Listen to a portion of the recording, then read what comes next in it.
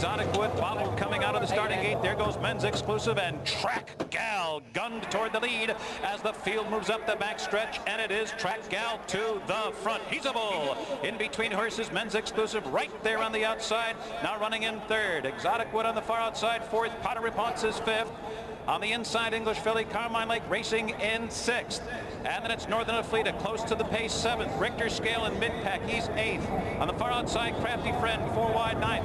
And then it's Bet on Sunshine, 10th, and down toward the inside, Confide is 11th by three. Then Trafalgar, followed by Royal Applause. Elmhurst is the trailer, 21 and two. A spectacular first quarter here. They're coming to the top of the stretch, and Track Gal has lost the lead. It's Exotic Wood on the and Hesabull. That half in 43 and 4 fifths seconds. Confide is coming up the inside. Men's exclusive and Bet on Sunshine is at the rail. Into the last furlong. It's Hesabull with a short lead.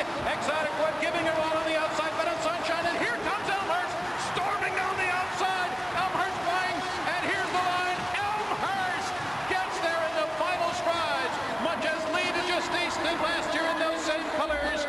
And again, a smiling Jenine Sahadi result of the sprint.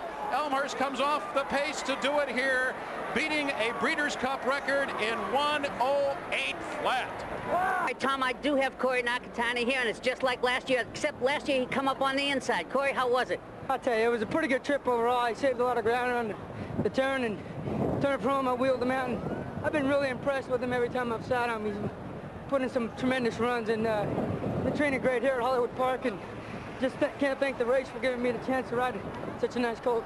Well, it seems like you have a knack for these sprints. You just time it perfectly. Great, thanks.